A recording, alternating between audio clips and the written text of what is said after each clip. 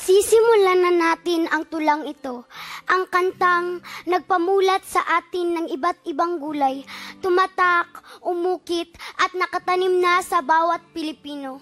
Ang munting kubo, ngunit puno ng buhay, ang bahay kubo. Bahay kubo, nakatiray kalbo. Sino nga ba ang magtatanim dito? Uhaw ka na ba sa pag-ibig? Pwes kumain ka ng singkamas dahil sa bawat nguya mo nito'y makatas. Talong, huwag gusgahan dahil sa colon cancer ito'y panlaban. Hindi tulad mo na hindi lumaban kaya iniwan na lang basta-basta na walang kaalam-alam. Ah, eh, talong? Okay. Sigarilyas, pampatibay ng buto. Di tulad ng relasyon niyong walang katibay-tibay, kaya nasira dahil walang umalalay. Wala akong kinalaman. Mane, madalas kasama sa inuman, paborito ng sambayanan, mabuti pang mane no? Madalas kasama, eh kayo, walang kadalas-dalas. Ah, eh, mane? Thank you. Next. Sitaw, sa lahat ng putahe siya ay kasama dahil nakikita ang kanyang mabuting dulot. Hindi tulad niya na bulag sa iyong halaga at tuluyan ka nang nilimot. Upo, tulad ng kaklase mong sip-sip sa eskwelahan, Sumisip-sip din ito ng kolesterol sa ating katawan. Hindi tulad niya na hindi man lang inalam ang iyong halaga, sumipsip pa sa iba.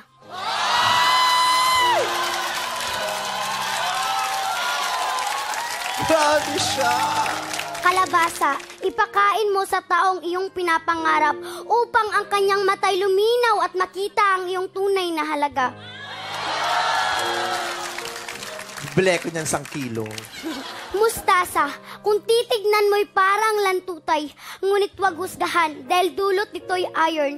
Huwag mong igaya sa ex mo na hinusgahan mo na, iniwan mo pa. Ayoko nung usapang ex. Doon tayo sa iron.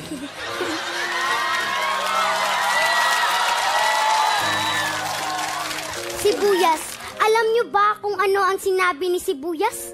Matapos mo akong saktan, iiyak ka.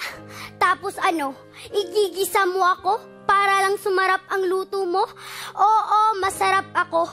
Pampabango at pampasarap lang at wala nang higit pa sa relasyon nating dalawa. Bawang, mayaman sa protein. Sila ni Sibuyas ay always together. Pero bakit wala pa ding forever? Tama na.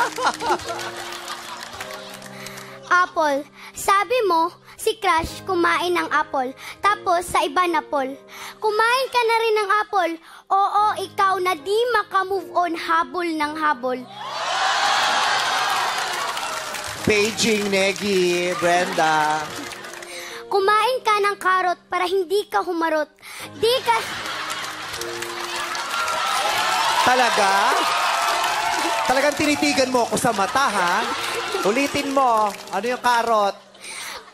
Kumain ka ng karot para hindi ka humarot. Tama na! Di ka dapat umasa sa taong paasa at ang tanong, bakit ka pa rin ba umaasa?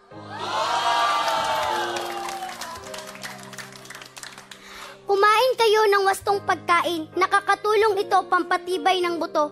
Di tulad niya na dumudurog lang ng puso mo. Gandang gabi ka, pamilya! Yes! Magandang, magandang, magandang gabi at magandang, maganda tayong lahat!